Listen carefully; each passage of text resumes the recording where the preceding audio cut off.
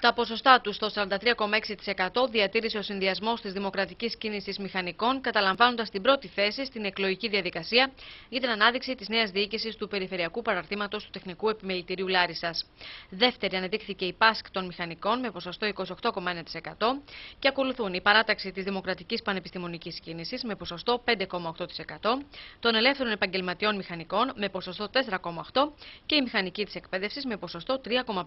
3,5%. Μετά την έκδοση των αποτελεσμάτων και με δεδομένη την μεγάλη συμμετοχή των μηχανικών που καταγράφηκε στις χθεσινές εκλογές, ο επικεφαλής της Δημοκρατικής Κίνησης Μηχανικών και νυν πρόεδρος του ΤΕΙ Λάρισα, κ. Δίνος Διαμάντος, εξέφρασε σε δηλώσεις του την ικανοποίησή του για την αναγνώριση των προσπαθειών της διοίκησης στις δύο προηγούμενες θητείες, καθιστώντας σαφές πως σε μια δύσκολη οικονομική κρίση με την ανεργία να χτυπά και την πόρτα των μηχανικών, θα σταθεί στο πλευρό τους. Έχω πει και προεκλογικά